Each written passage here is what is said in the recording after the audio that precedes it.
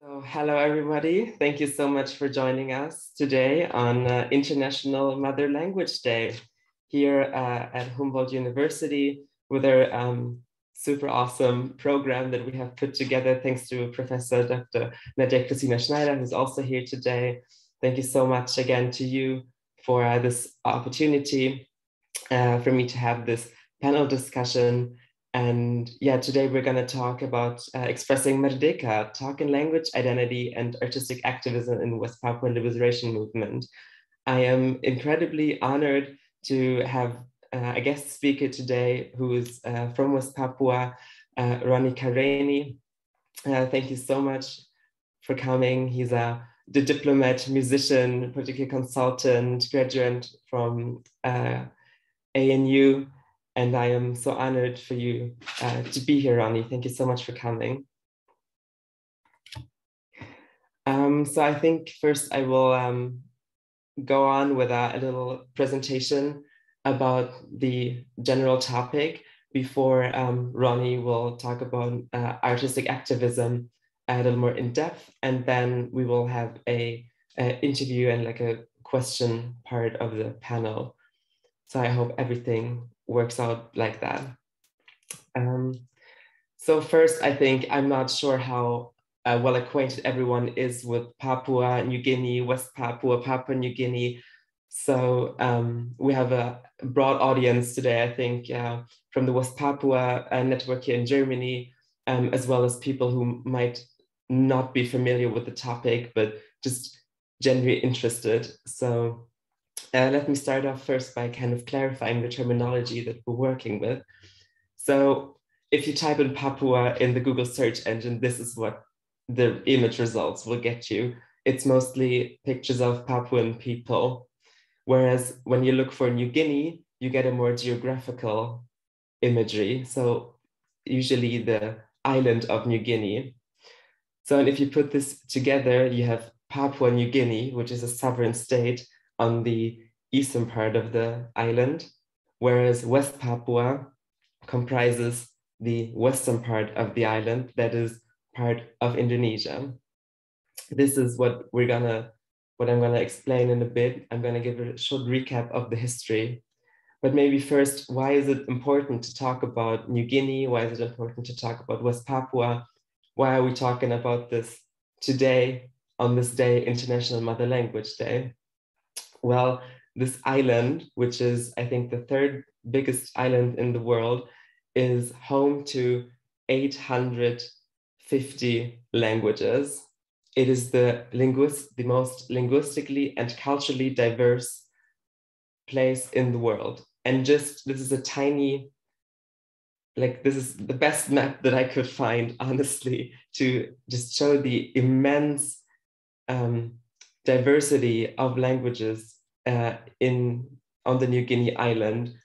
It's small pockets everywhere, and there's not it's not even one language family. So we have the most languages in the world in this island, and as well as the most language families. We have about 43 language families. The biggest one is the Trans New Guinea family, but as well as a ton of isolates. And linguists have only started to unravel the mysteries of the New Guinean languages in the past, let's say 50 years, and there's still so much to do. There could be, yeah, so much more to unravel. So this is, it is important to talk about it, I think, from a linguistic point of view, because I always call it the Garden of Eden of linguistics, because it is just so abundant and rich, just this Garden Eden. Um, of these 850 languages, we found around 414 in West Papua. So the part that we will be uh, talking about today, the part that belongs to Indonesia. Um, the most, just like to have a, um, just have like a little Im like image of it, is um, Papuan languages are spoken by roughly three to four million people living on the New Guinea island. Um, However, the biggest indigenous Papuan language of Enga spoken in Papua New Guinea has 165,000 speakers.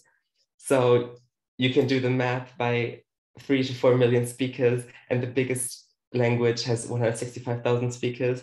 A lot of languages only have a handful of speakers, and a lot of them also face extinction. That might be due to globalization, but also outside threats like in West Papua, Indonesia, and slowly acculturation to Indonesia and their language. So in West Papua, Indonesian is also spoken due to um, the colonization of it. Um, and recently there has also been an emergence of a Malay-based Creole, which is Papuan Malay. Whereas in Papua New Guinea, the lingua franca is Tok Pisin, which is an English-based Creole, as well as Hiri Motu, which is an uh, Austronesian-based Creole and English. So this is why I, I thought I deemed it suitable to talk about New Guinea and Papuan languages on Mother Language Day, because there's no other place as linguistically and culturally diverse as New Guinea. However, West Papua and the story behind it is rather sad and is something that has been um, interesting for me and really dear to my heart for several years now. Um, just so that we're like everyone kind of on the same level and everyone knows what we're talking about, I made this um, little graph here um, to give a super short recap over um, the West Papuan history. So West, the area of New Guinea and Australia was settled around uh, 40,000 years before BC um, by ancestors of, of indigenous Australians and Melanesians. This is important to understand for the following history and the conflict that we have today in West Papua, because it is ethnically and culturally very different, very different people. So whereas in Indonesia, we have Austronesians in Melanesia, as the name says, Australia, New Guinea, and other islands, we have indigenous Melanesians. Um, nothing really happened, people living their lives for 40,000 years unbothered until um, the Dutch came and uh, claimed the western part of the island. Um, there, there was the start of uh, colonial, uh, like truly colonial interests. Before there, there have been Portuguese and Spanish seafarers visiting the island, but the actual colonial exploitation of the island started with the Dutch in 1848 um, the island of New Guinea was then divided between the Netherlands, Germany, and Great Britain in 1895. You can see a map here. Um, this is also, I think, very inter interesting for Germans because the German colonialism is uh, always forgotten due to other horrible aspects of our history. But Germany was also um, the biggest colonial power in the uh, South Sea after Great Britain and the third largest colonial power in general. So when talking about West Papua and New Guinea, Germany also has to weigh in, I think, because of our history. In the 1930s, I think it was interesting because in the 1930s, there was a beginning of a West Papuan identity. So Papuan graduates um, started to promote the idea that, there, that there should be a unified West Papuan identity. However, it was also in the 1930s when kind of the downfall of West Papua started with oil companies finding the richest gold and copper deposits on Amungme territory. So this already illustrates how economic interests and colonial interests kind of mark the downfall of uh, West Papuan, uh, Papuan sovereignty. In 1949, this is kind of a secondary but also important history fact is Indonesia became independent. Um, a Javanese central government united 15 um, republic, republics into the United States of Indonesia as we know them today. Um, so, so, um, Simultaneously, in 1949, two Javanese officials also promised easier access to natural resources um, to foreign investors and oil companies and uh, natural resource companies if the Javanese central government would be in charge of the East Indies. So this is what facilitated the independence of Indonesia. the Dutch were still very prominent in uh, West Papua at the time. So we have to understand that while Indonesia became independent, West Papua was still uh, a Dutch colony. And it also remained so until beginning of the 60s. In the 1950s, the Dutch worked together with the Papuan people to establish modern social uh, services and guide, so to say, or like assist them along into the way of independence, which was set to um, be established around the uh, 60s and 70s with the global decolonization age. So plans were afoot for West Papuan independence. Back to the economic interests, in 1959, what we witnessed is the construction of the Freeport mine on said territory where we find the world's richest gold and copper deposits. So this mine is still alive and well today. It is um, horrible what is being done to the environment. I think we could just do an entire uh, talk about the destruction of the environment and nature in West Papua due to um, uh, extracting natural resources. But it's also um, it's also um, a uh, symbol of the humanitarian rights crises that we face in West Papua. I think um, maybe there's time to talk about this in detail later. In 1961, together with the plans that were set to make Papua sovereign and an independent state, um, the West New Guinea Council is uh, elected a parliament that was supposed to be in force by April 61. They also select a hymn um, Papua, Oh My Land Papua, and um, and um, and no, not selected hymn, then anthem selected hymn in the flag. I'm sorry, I put it wrong in the in the presentation. So it's like the hymn, as I mentioned, and they selected the flag, the Morning Star flag, which you can see here on the slides on December 1st, 1961, and this is a, a, very key factor and key element in West Papuan history, the Morning Star flag was raised. And this still, um, we consider it as like the national day, so to speak, for West Papua, since it is the first uh, like official raise, it's been the first like proclamation of the independent West Papuan state and nation. Um, Indonesia's interest in the region grew as well as foreign interests in, uh, in the region due to natural resources. Um, starting in 1962, there have been several attempts by Indonesia to invade West Papua. Um, this is where it starts like becoming a little fuzzy, but so basically what happened is that the US blackmailed the Netherlands into signing the New York Agreement, which would transfer West Papua to Indonesia.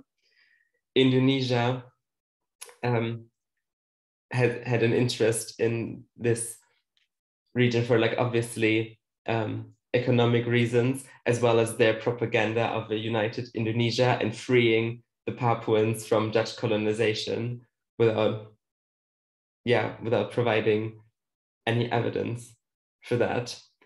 In 1965, after ongoing brutal abuse by Indonesian military, Papuans started to organize themselves in the OPM, in the organization Papua Freedom. So beginning in the 60s with both horrible human rights abuses, invasion by Indonesia, and growing, um, in growing um, blackmail and um, sub, uh, oppression by uh, the US, um, there was a growing Papuan uh, indigenous interest in um, resistance, so to speak. Um, the UN was also um, in, in obviously invested in this conflict since, um, well, the, the UN. However, they said that so indigenous people do have the right to self uh, governance and self sovereignty.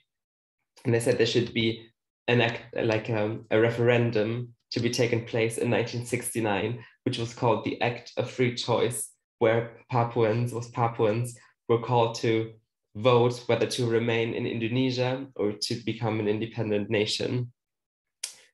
This referendum, however, was a sham vote because 1,025 handpicked Papuans were forced and blackmailed by Indonesian military to vote for the remaining in Indonesia.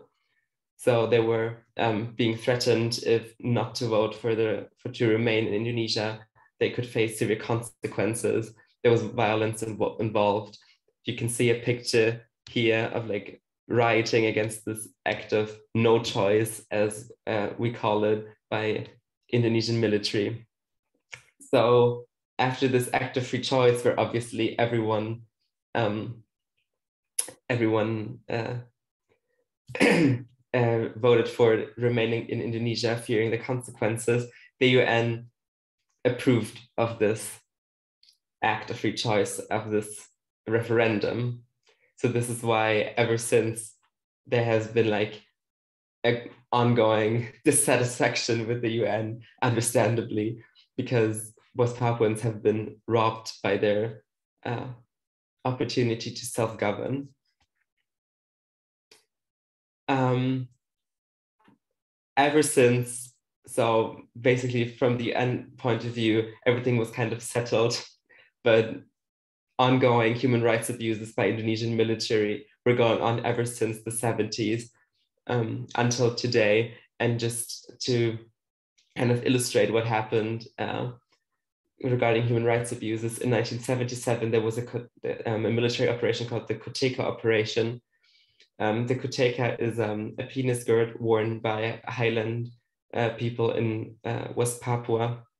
And it was called like that because it was both a um, military uh, operation, um, including napalm bombings and uh, killings and horrible, horrible um, things, but also more uh, of like a of like an acculturation process and and like a um, um, dehumanizing kind of a, a dehumanizing practices of um, forbidding the men to wear the koteka, which was also meant to emasculate them, because a lot. Um, I have I have I have heard that most like most Indonesians, although they, especially in, in Indonesian military, despite their growing like interest and um, military force in the region, some claim they're still basically scared of Melanesian of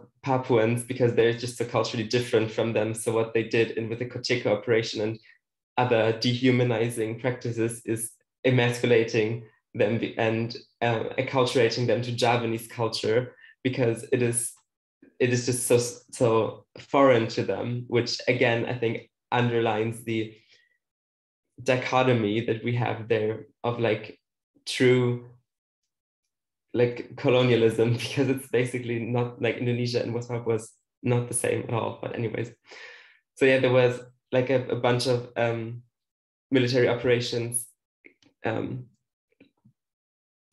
trying to accult, uh, acculture pe- uh, people from Papua to Javanese culture, like killing killing the pigs and stuff um, this just could go on and on. We have an ongoing humanitarian rights crisis in West Papua, which also um, sparked again in 2019 with uprisings uh, by Papuans across the archipelago and um, the entire world when uh, Papuan students were racially attacked in Surabaya, um, being called racial slurs, um, with yeah, with demonstrations all around the archipelago and the world of uh, West Papuans fighting for the freedom, fighting for the sovereignty, resisting uh, the human rights abuse that they have to endure.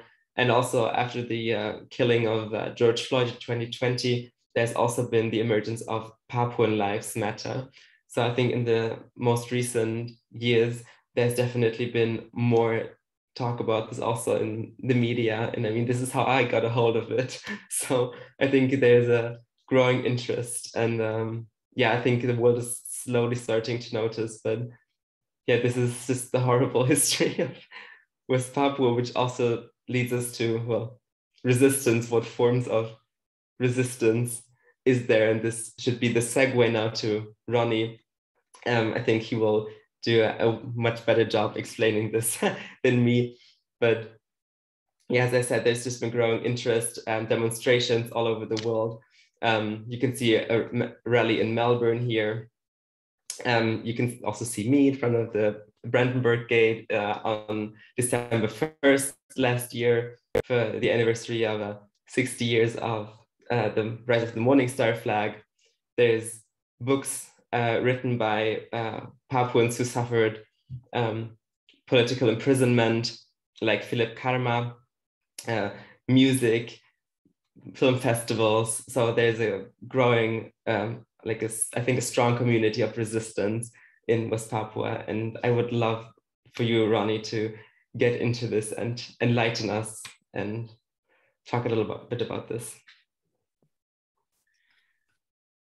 Many thank you, uh, Sydney, for the the history and the context. Pretty much to um, set the scene and makes my um, discussion a bit much more easier now to um, just transition into it. So yeah, big thank you. Um, before I go any further, I wanted to take this opportunity to really uh, um, acknowledge um, everyone in this space. I'm speaking to you from the Ngunnawal country of the First Nation people here um, in Australia, um, Canberra, where um, I'm speaking to you, and I want to pay respect to their elders, past, present, and emerging. Um, just like many indigenous people around the world were um, in West Papua case, we continue to fight for land rights and basic human dignity. And so it's timely as well with the, um, the theme of the discussion on the mother language and linking it with present day um, struggle where West Papua is um, going through. So with that, I will um, going to share my screen. I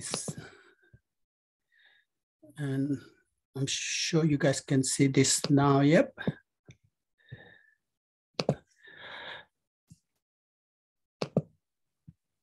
All right.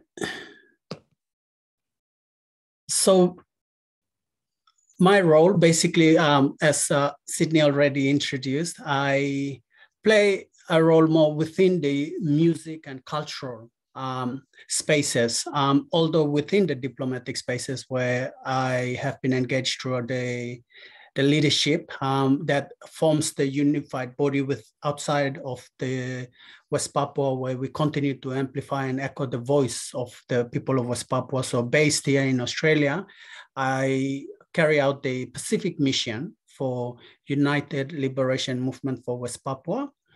And our leader based in the UK, Benny Wenda, and we have um, other diplomats. Oridek Ap um, is the mission to the European Union, and there's also uh, Herman Wainggai to the UN um, in New York, and myself um, to the Pacific, and and so that's one aspect. But music has been um, the weapon that I continues to um, use or as a medium. Um, in the I'm in a band called Sorong Samarai, and I will go into that and talk about some of the projects uh, that we do, um, but also at the same time um, um, acknowledging that the yeah people that I work with, and as you see in this image, it's that drum there. Uh, we call it tifa in, in Papua. Um, in on that other side of the island, it's called Kundu, and the people of Torres Strait uh, Islands um, call it Warup. So that is a drum from Torres Strait Island with a Torres Strait Islander. He's a dancer, but also a, um, yeah, uh, a, a Kundu player. and we use the, the, the, the sound of Tifa or the metaphor of Tifa as the, the harder you beat the drum, the louder it becomes in terms of the resistance um, on the ground with West Papua and with solidarity with the people of West Papua.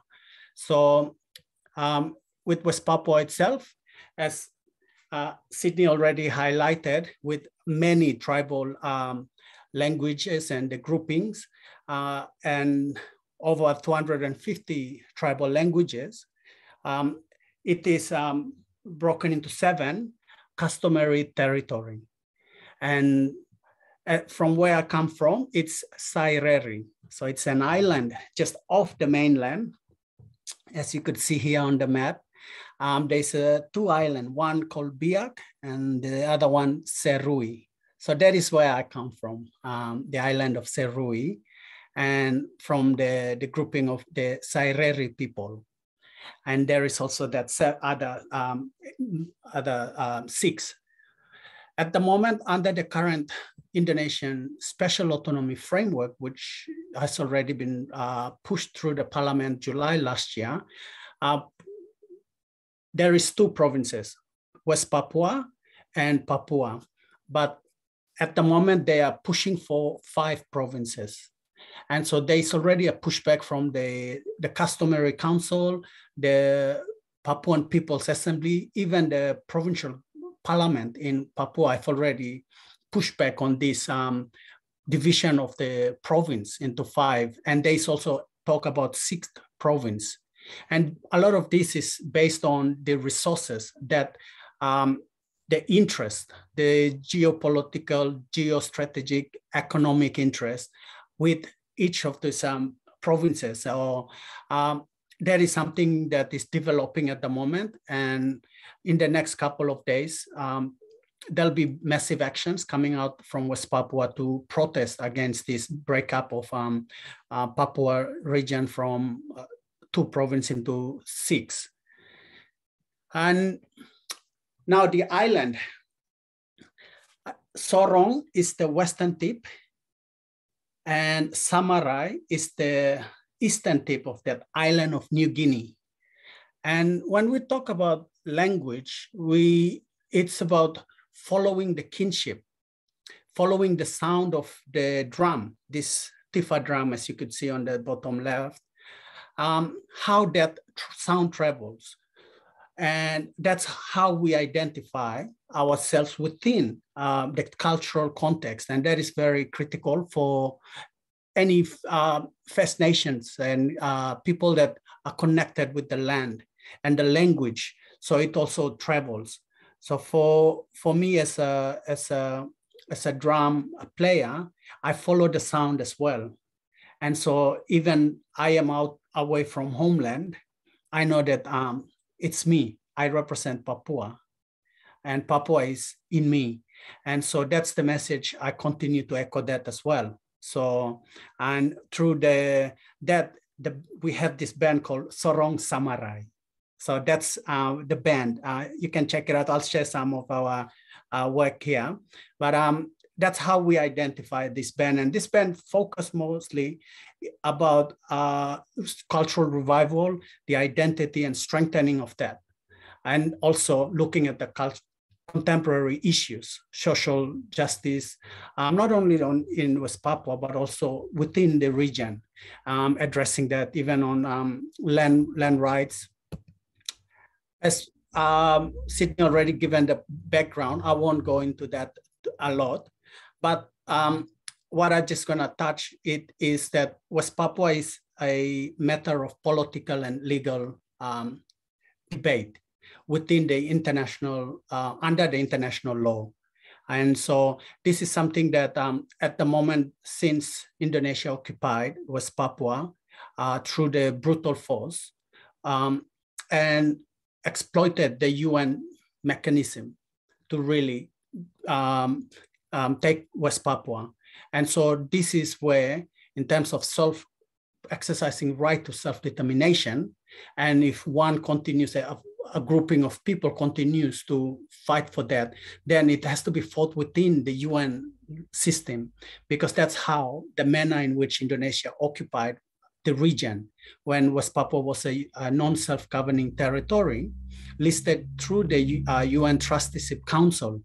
Um, but at the moment, it is very difficult to get that through. So if there are any law students, um, um, putting it out there that West Papua needs a lot of um, legal minds to really argue um, Indonesia's um, argument around uti possidetis, that territorial integrity, which at that time it used that to uh, take over West Papua.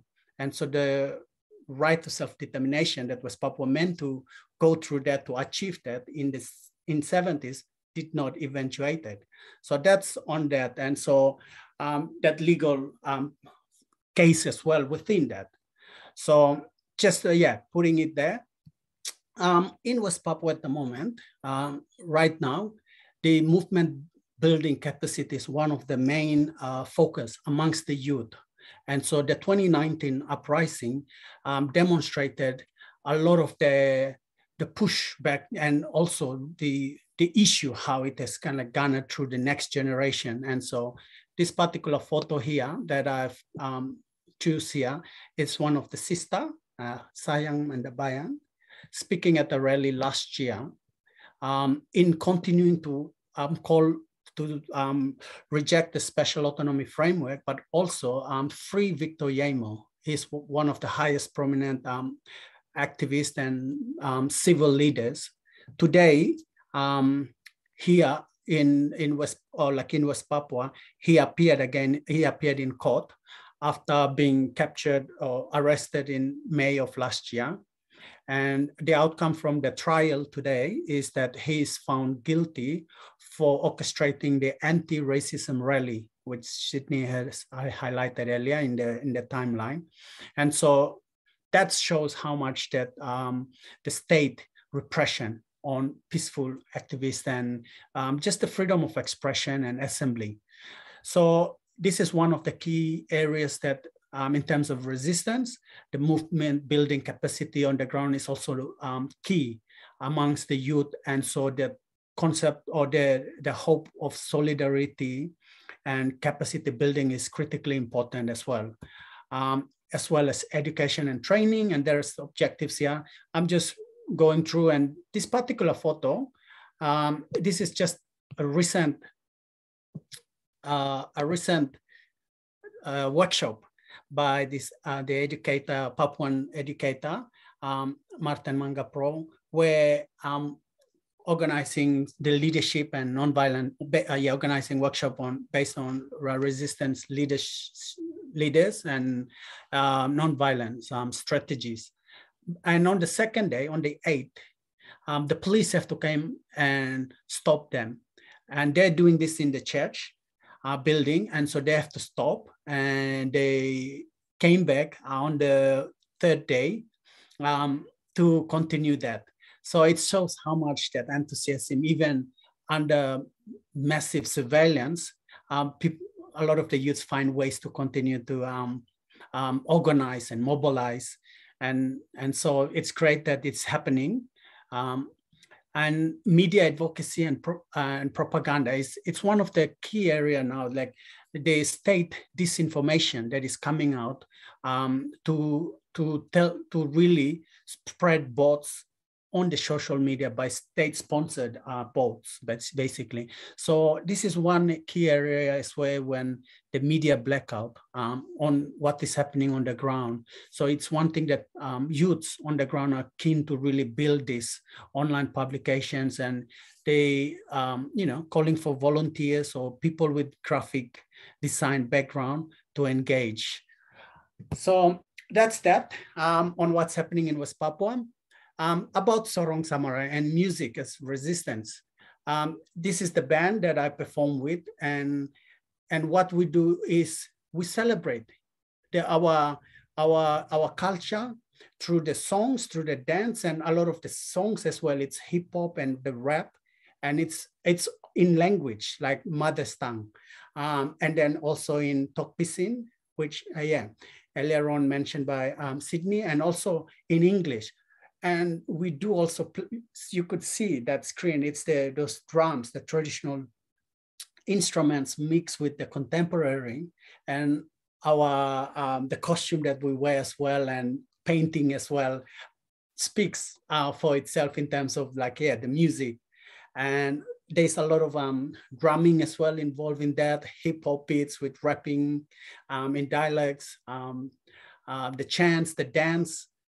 And so that's i continue to do that and it is important because um, for west papua where in the 70s when indonesia occupied the language even just to play the drum um, was stopped so this is one way we, as, an, as a third generation into the, the struggle to keep the, the culture alive. That's one way to really maintaining that and using bigger spaces that I, I, I, am able to, to really demonstrate that.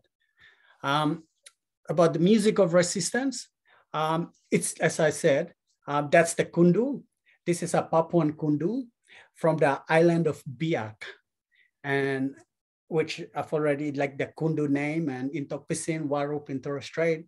And it's the key importance here is um, to, to demonstrate that from that island, from Sorong to Samarai, we are one people. And it's the colonial boundary, the arbitrary line that separates that kinship system, the, that song lines that we share through the, the sound of the tifa, through the chants and through uh, that familyhood, the family name, because that's key here. Um, it's in that song lines and bloodlines. And also the sound of this music, it brings unity, community, and identity of who we are as Melanesian people within the, the subgrouping here in the region. And of course, with the with the ongoing fight against, uh, or not against, but in terms of decolonization in this region, it's building that solidarity. So uh, one of the um, projects, latest projects as well, is Rocking for West Papua. And so this was um, also convened through the Office of the Free West Papua campaign in in UK and also throughout um, a lot of the various chapters of the Free West Papua campaign movement. And so the movement that are kind of like engaged through Rise of the Morning Star, um, we built solidarity through that and creating the platform for Rocking for West Papua. So it was amazing since 2016, uh, 17, 18, 19 to really put support behind and use engaging musicians as you can see here, um, hashtag music is a weapon. And it was amazing to see artists from whether it's right across like in, in South Africa, all the way throughout the Pacific and to US, South America, um, and in between, anywhere around the globe in Europe, to come together to really, um, in solidarity, to use music to really amplify those voices. And so um, at the moment, we still wanted to continue to do that. With COVID, it, a lot of this um, work hasn't been continued. But as um, Benny uh, quote, um, does speaks a lot into West Papua music as resistance that every song contains a human spirit. And that is within uh, many uh, of the, our Papuan on the ground, but also those living abroad.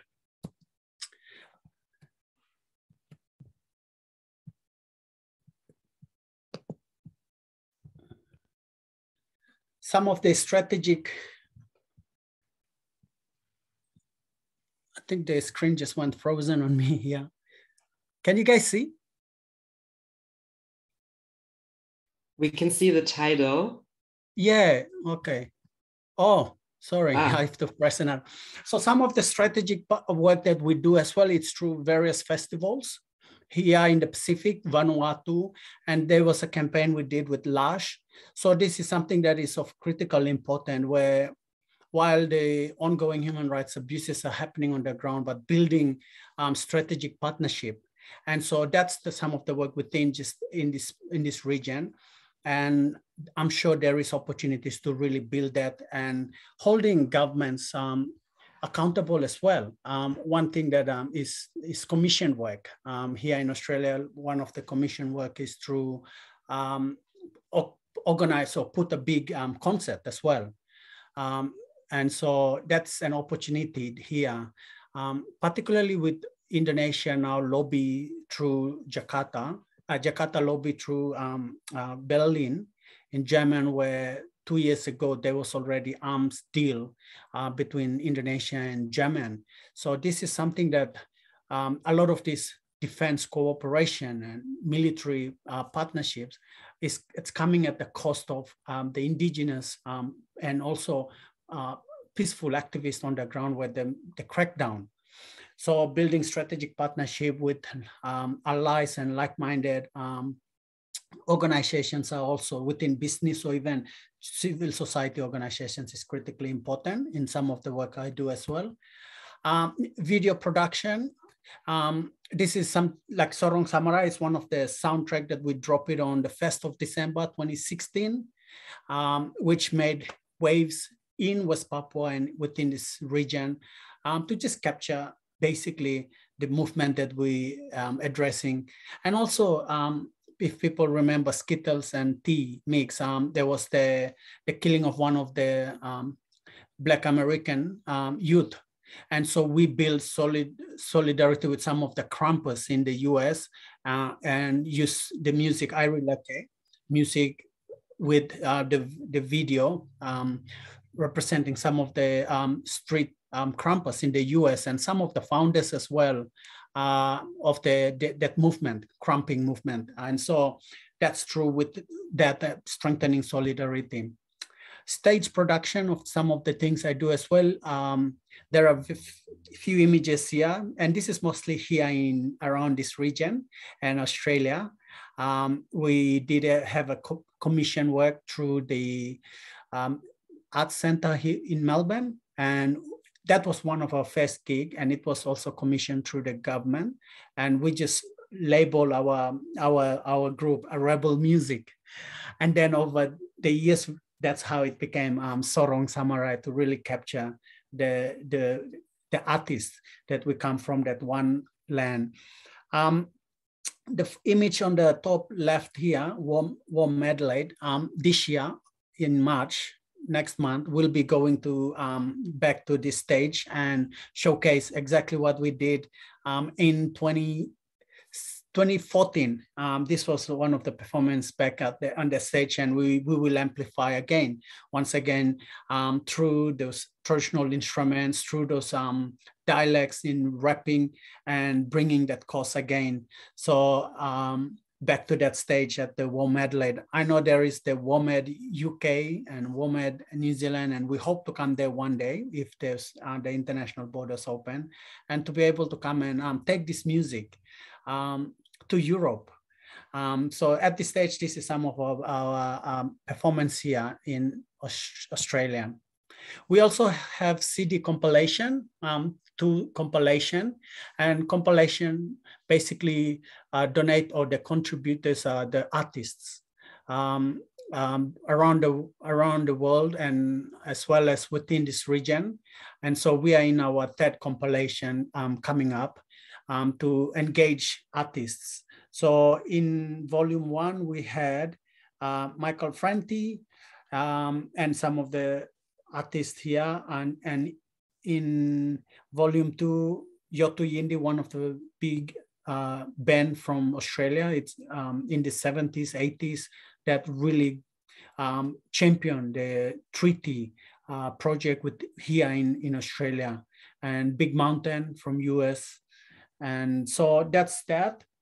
Um, I, I know the time, so I'm just gonna play this a bit of what we do so it gives you uh, a sense of the, the sound and on stage performance that I, I talked about Sorong Samarai. And then happy to open it for um, discussion. So here's a minute uh, video.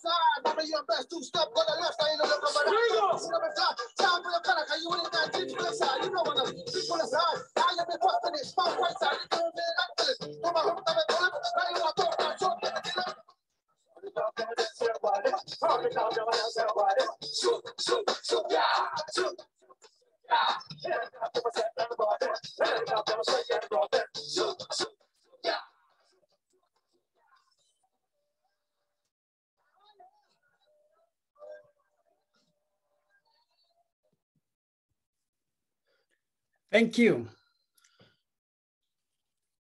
Thank you so much, Ronnie. This was truly inspiring. Thank you so much for your talk. Um, I think definitely I have a ton of questions, and I think I would um, just go ahead and ask and um, definitely open for any questions from the other audience, but maybe I'll start. So what um, it was like impressive to see how much can be done through music and how much you're uh, also doing. Um, I would like to know like how much of your art and your music is perceived in West Papua and um, you know um, across uh, maybe the Australian exile and uh, in Indonesia, since there's also uh, sometimes uh, media control and uh, internet being cut in West Papua. So how much of um, this is being received and perceived in West Papua?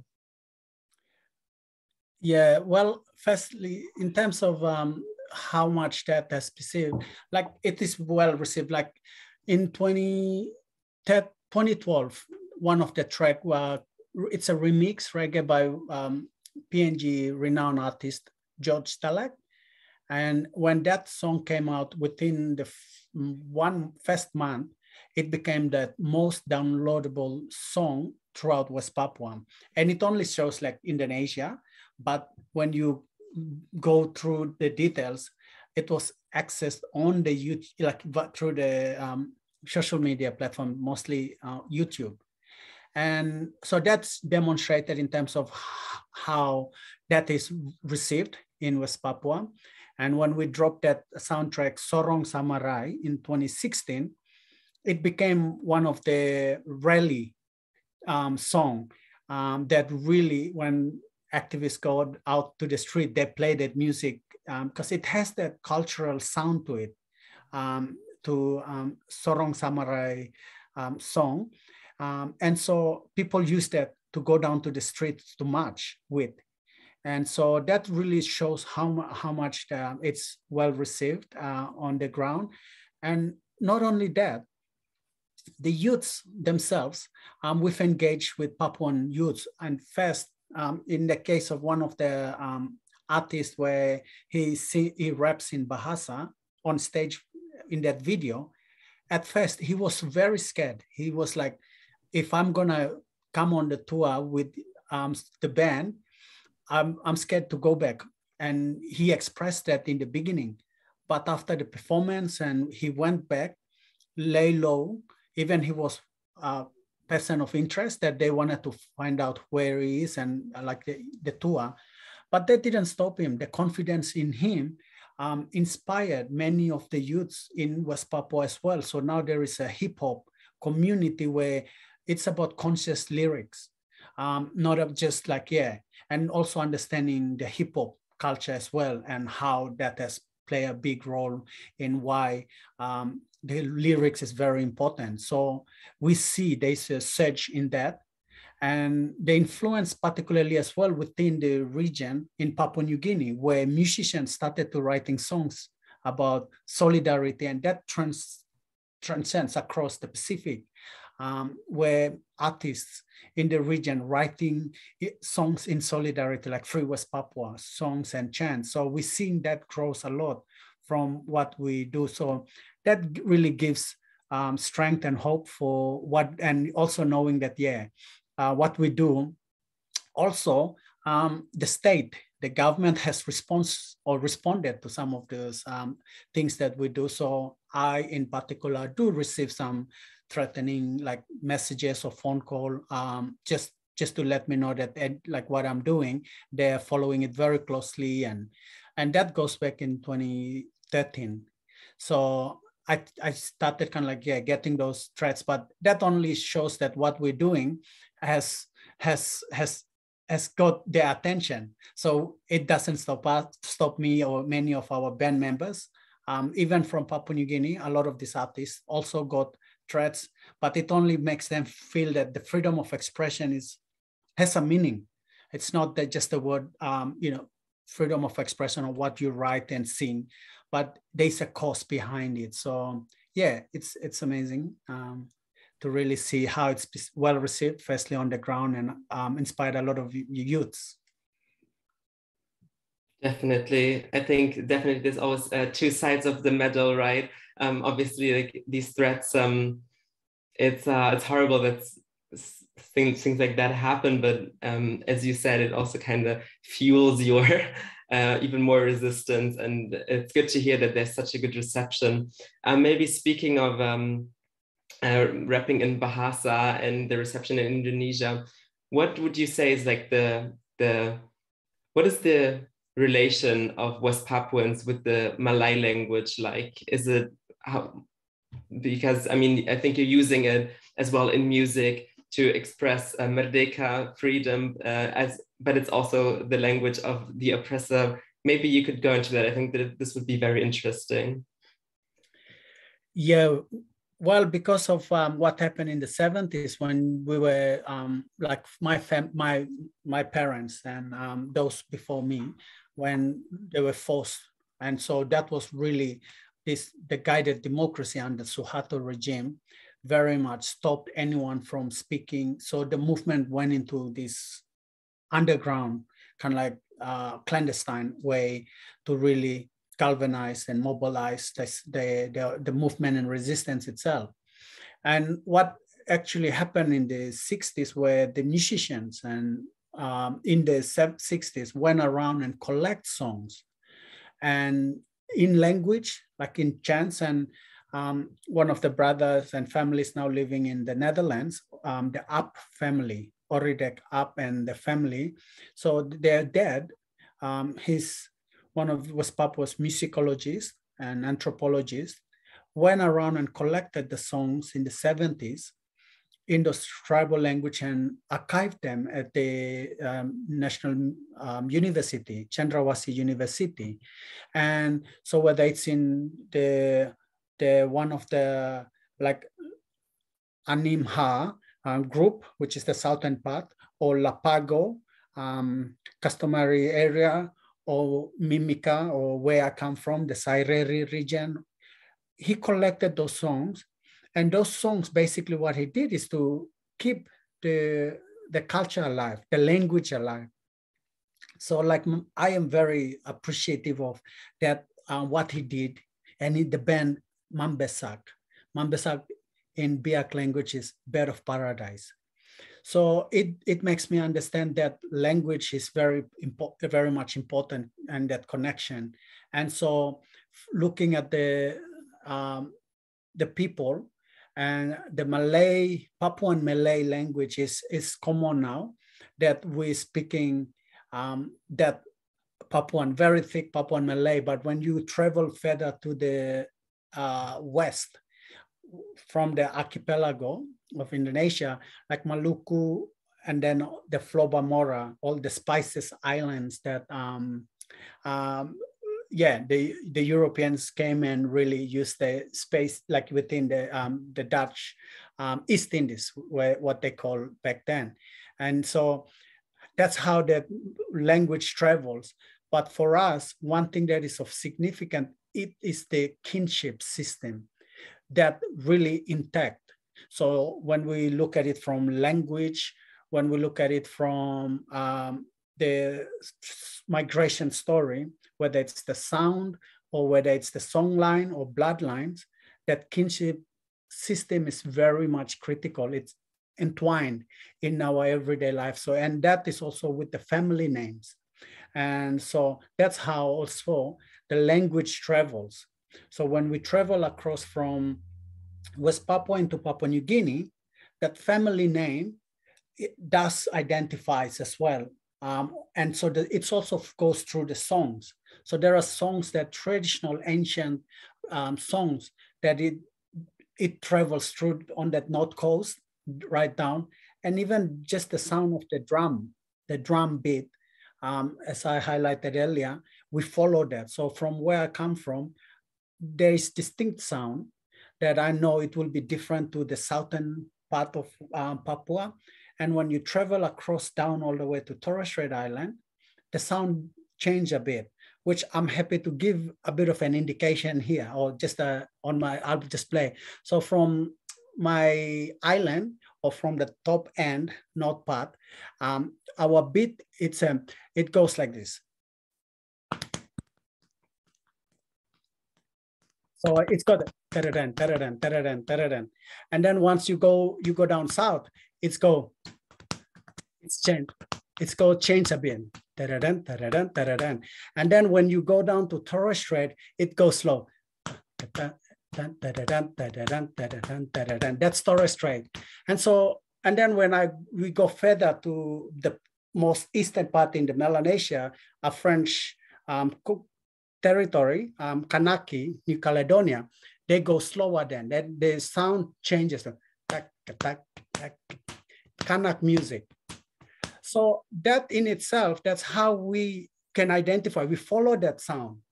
And so we can tell the difference that where it comes from and that family, that kinship system that, yeah. Anyway, I'll probably stop here. no, that's really interesting. Thank you. I did not know that. I think it's very enlightening as well.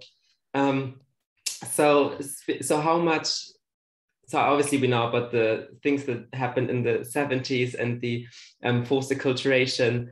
Um, how much is that still um, affecting West Papuan people, and how much would you say Indonesian culture has penetrated West Papuan culture? Um, and what is there to do to um, maybe resist that? Between 70s up until um, the downfall of Suharto, certainly there was a lot of um, the repression and the suppression of um, cultural activities, the move, the resistance itself. And, and so it wasn't a lot of room to really um, capture the works that, yeah. Um, and in the 80s, particularly where my parents have to flee um, West Papua. So 84 was a massive exodus of um, Papuans from West Papua across to PNG. And between that period as well, um, we lost a lot of some of the brightest um, in West Papua. And so like Arnold Ap, who went around and captured, and they were educated under the Dutch um, system and well versed and very much at the time, yeah, West Papua was in it well advanced in terms of the decolonization process, was pretty much ready to be a, an, a, an independent um, nation state. And so uh, that was happening. And so the culture, the language, and the ways of thinking um, basically was Papua was Indonesianized um, during that period. But after the fall of Suharto in 98, 99, and the change of government, um, it's it was different. Um, people see the Papuan Spring. There was after the Timor-Leste case, um, the referendum, and so there was a renewed hope for West Papua. Um, so in 2000, that is when um, the nonviolence um, struggle kind of picks up from that and mobilizing and building um, solidarity through the students network in Indonesia and throughout Indonesia. And even until today, we're seeing a lot of um, the Indonesian students and with the social media now, um, many have kind of like being exposed to read what is happening. And so they came to also hear and read about West Papua. So we saw that with the Papuan Lives Matter, since after the 2019 and 2020 um, um, George uh, Floyd's case, students across Indonesia have come out now and really um, become advocates on human rights situation and even environmental and even questioning their governments. And we're seeing even many of the um, students, activists got arrested, got detained. Um, Surya Anta is one of the an example where he is now the spokesperson for the the Free West Papua or Front Rakyat Indonesia. It's the Front um, um, Indonesian movement, student movement for West Papua, and he was detained in 2019 for simply um, um, advocating on um, yeah against racism. And we're seeing that even Indonesian human um, human rights lawyer Veronica Koman, who came to study in Australia, just for advocating for um, activists, um, yeah, labeled as the enemy of the state or enemy of Indonesia. Um, even towards end of last year, her parents' um, home were blasted with bomb in front of their homes just for uh, her speaking up. So we're seeing the changes. There's a transition within the younger uh, uh, Indonesians and the support through that in, in really um, owning our narrative. And so that's the work that I do as well um, with within the um, cultural spaces and arts is to own our narrative. And so really reclaiming that narrative as well. So that's really key in what I do as well. So when we talk about the band, Sorong Samarai, that's also kind of like psychologically breaking that arbitrary line that separates West Papua and Papua New Guinea, but looking at it from that, that cultural lens that we are one people, um, we share one language, one land, one the one water, salt water. So um, that Sorong Samarai really speaks of that, um, breaking that, um, yeah, narrative from um, colonial um, lens.